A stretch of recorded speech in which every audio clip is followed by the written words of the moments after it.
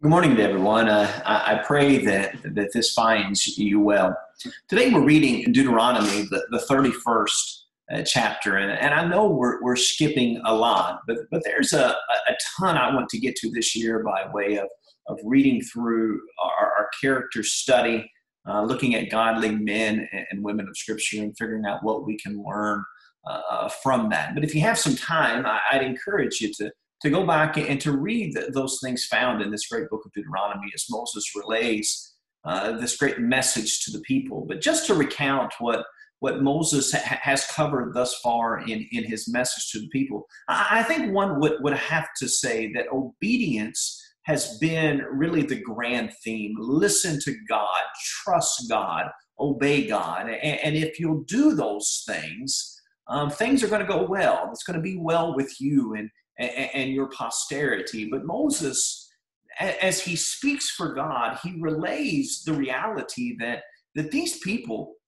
they will fail. And ultimately, they're going to turn their backs on God. And, and unfortunately, disobedience is going to all too often define them. And, and certainly, those of us who are familiar with our Old Testaments, we know that this is exactly what happens. But here's where it gets interesting. Once they fall and, and, and once they, they turn to idols, once they're consumed by way of their prosperity, as we look at both the northern kingdom of Israel and the southern kingdom of Judah, um, following that's going to be punishment. But that punishment is going to be followed by restoration, and God's going to circumcise their hearts, and, and eventually they're going to turn back to God, a remnant uh, will. And, and, God's going to be merciful to them. And, and ultimately, all of this is going to culminate in the sending of God's Son, Jesus Christ, to this earth to die on the cross for all uh, of our sins. And what we have moving forward, really, in our Bibles is all of this playing out. And I'm just reminded of the perfection and really the cohesion of God's word, just reminding us that God is no doubt the author of this most perfect revelation uh, uh of his mind. Now, with all of that being said, and I know that's generally covering a, a, lot of ground, really beginning here in chapter 31, as is our, our reading today, and lasting until chapter 34, we have this passing uh, of a torch of leadership from Moses uh, to his protege Joshua. And these chapters, chapter 31 through 34, are, going to reveal the death of Moses, a man who, uh, while not perfect, was a great leader uh, of God's uh, uh, people in really, really hard circumstances. Uh, I, I, think that, that, that, that's rather obvious. But, but he's a man that, that is characterized by humility and, and no doubt a, a, love for God. And in fact, if you, if you keep reading in chapter 34, beginning at, at verse 10, Moses is described in this way. Deuteronomy chapter 34, you have your Bible open already. Deuteronomy chapter 34, beginning at verse 10, it says, Since that time, and this is the last few verses of the book of Deuteronomy, since that time, no prophet has risen in Israel like Moses, whom the Lord knew face to face, for all the signs and wonders which the Lord sent him to perform in the land of Egypt against Pharaoh, all his servants, and all his land, and for all the mighty power, and for all the great terror which Moses performed in the sight of all Israel. Now, but quickly, I want to highlight one more facet of the life of Moses before we get into our chapter uh, for today. If you go back just a couple of chapters in Deuteronomy, chapter 32, I want us to appreciate uh, the reason as to why Moses, um, why Moses is going to die, number one, but why he's ultimately not going to be able to enter in uh, to the promised land. As we kind of wrap up today, looking um, in our reading at the life of Moses. In Deuteronomy chapter 32, uh, look with me at verse 48. It says, The Lord spoke to Moses that very same day, saying, Go up to this mountain of Ab, Mount Nebo, which is in the land of Moab, opposite, opposite Jericho, and look at the land of Canaan, which I'm giving to the sons of Israel for a possession. Then die on the mountain where you ascend and be gathered to your people, as Aaron your brother died on Mount Hor and was gathered to his people. Because, verse 51, because you broke faith with me in the midst of the sons of Israel at the waters of Meribah, in the wilderness of Zin, because you did not treat me holy as in the midst of the sons of Israel, for you shall see the land at a distance, but you shall not go there into the land which I am giving the sons of Israel. Moses died on this mountain, and he could see the land, but he wasn't able to enter the land. Why is that? God says here.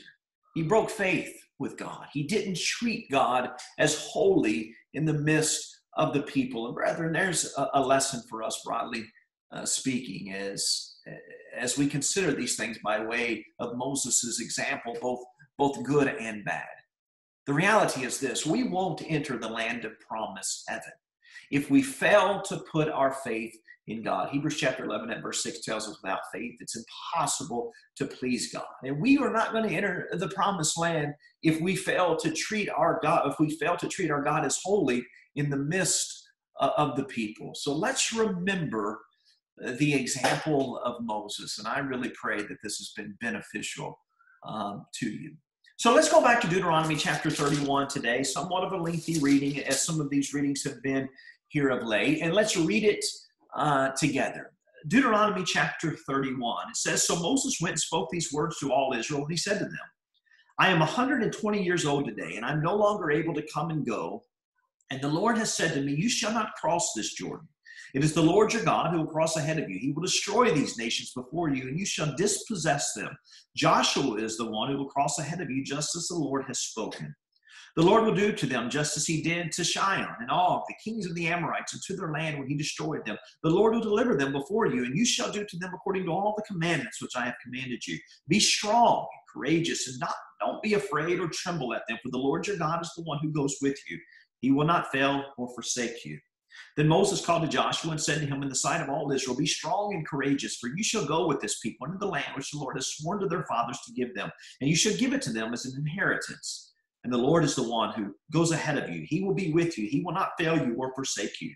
Do not fear or be dismayed. So Moses wrote this law and gave it to the priests, the sons of Levi, who carried the ark of the covenant of the Lord, and to all the elders of Israel. Then Moses commanded them, saying, At the end of every seven years, at the time of the year of remission of debts, the feast of the booths, when all Israel comes to appear before the Lord your God at the place which he will choose, you shall read this law in front of all Israel in their hearing. Assemble the people, the men and the women and the children, and the alien who's in your town, so that they may hear and learn the fear the Lord your God and be careful to observe all the words of this law. Their children who have not known will hear and learn to fear the Lord your God as long as you live on the land which you are about to cross the Jordan to possess. Look at verse 14. Then the Lord said to Moses, Behold, the time for you to die is near. Call Joshua and present yourselves at the tent of meeting that I may commission him. So Moses and Joshua went presented themselves at the tent of meeting. The Lord appeared in the tent in the pillar of cloud, and the pillar of cloud stood at the doorway of the tent. And the Lord said to Moses, Behold, you are about to lie down with your fathers, and this people will arise and play the harlot with the strange gods of the land, in the midst of which they are going, and will forsake me and break my covenant which I have made with them. Then my anger will be kindled against them in that day, and I will forsake them and hide my face from them, and they will be consumed. And many evils and troubles will come upon them, so that they will say in that day, It is not because our God is not among us that these evils have come upon us. But I will surely hide my face in that day because of all the evil which they will do, for they will turn to other gods. Now, therefore, verse 19, write this song for yourselves and teach it to the sons of Israel. Put it on their lips so that the song may be witness for me against the sons of Israel. For When I bring them into the land flowing with milk and honey, which I swore to their fathers, and they have eaten and are satisfied and become prosperous, then they will turn to other gods and serve them and spurn me and break my covenant. Then it shall come about when many evils and troubles have come upon them, that this song will testify before them as a witness. For it shall not be forgotten from the lips of their descendants, for I know their intent which they are developing today, before I have brought them into the land which I swore. So Moses wrote this song the same day and taught it to the sons of Israel. Now look at verse 23. Then he commissioned Joshua, the son of Nun, and said, Be strong and courageous, for you shall bring the sons of Israel into the land which I swore to them, and I will be with you. Came about when Moses finished writing the words of this law in the book until they were complete, that Moses commanded the Levites who carried the ark of the covenant of the Lord, saying, Take this book of the law and place it beside the ark of the covenant of the Lord your God, that it may remain as a witness against you. For I know your rebellion and your stubbornness. Behold, why I'm still alive with you today, and you have been rebellious against the Lord how much more than after my death? Assemble to me all the elders of your tribes and your officers, that I may speak these words in their hearing, and call the heavens and the earth to witness against them. For I know that after my death you will act corruptly and turn from the way which I commanded you, and evil will befall you in the latter days. For you will do that which is evil in the sight of the Lord, provoking him to anger with the work of your hands. Verse 30 says, Then Moses spoke in the hearing of all the assembly of Israel the words of this psalm until they were until they were complete. Be strong and courageous. That, that's going to be a, a, popular refrain that's going uh, to be repeated moving forward as we look and, read through the life of Joshua next week. And certainly as they enter that land, as they face those giants that those spies saw there in Numbers chapter 13. They're going to need the strength and they're going to need a great courage. But I think really here's the million dollar question. You know, it's easy to say, well, be courageous. It's easy to say, be strong, but where's that needed courage and strength going to come from? What's the source of that strength and that courage. If you go back in our text and you look at uh, verse 6 of this text, and certainly when we get over into Joshua chapter 1, it's going to reiterate this point. But back in verse 6, we get the source uh, of the strength and the courage. Look at verse 6 Be strong and courageous, Moses says. Don't be afraid or tremble at them. Here's the answer. For the Lord your God is the one who goes with you. He will not fail, nor will he forsake you. God would be their strength. God would be their courage. He would be there. He would fight them. They would just simply need to obey him, to follow him, to allow him uh, to lead them. And I say all of that to say this because I think this is a great reminder for us, especially right now. Brethren and friends, God is still our strength. He is our courage to be light in darkness. Our courage and strength still comes from a knowledge and a relationship with God, His faithfulness. How about this? His everlasting love provides us the strength and the courage that we need to really muster obedience in the face of, of opposition, in the face of trials, in the face of disappointments that come from living in a world that, that I would argue largely has little to, to no regard for God, no regard for His people. You know, in Ephesians, the third chapter, Paul, I think, speaks to this idea, and he prays that the people of God would be strong. But I want you to listen to where Paul identifies the source of this strength. Ephesians chapter 3, if you still have your Bibles open, Ephesians uh, chapter 3, look at verse 14, uh, starting. Ephesians 3, 3, chapter 14 says, For this reason I bow my knees before the Father from whom every family in heaven on earth derives its name, that he would grant you, according to the riches of his glory, to be strengthened with power through his spirit in the inner man, so that Christ may dwell in your hearts through faith, and that you, being rooted and grounded in love, may be able to comprehend with all the saints what is the breadth, what is the length and height and depth, and to know the love of Christ, he says, which surpasses knowledge, that you may be filled up to all the fullness of God. Verse 20 says, Now to him who is able to do far more abundantly beyond, beyond all that we think or ask, according to the power that works within us, to him be the glory in the church and in Christ Jesus to all generations forever and ever. The Apostle Paul here identifies God and his love, the love of Christ, as it has been revealed uh, to us through his Spirit, through his word. And we can know that God loves us. We can know that God is for us. And He, therefore, our Lord and Savior Jesus Christ, He is our strength. We need to be reminded of that.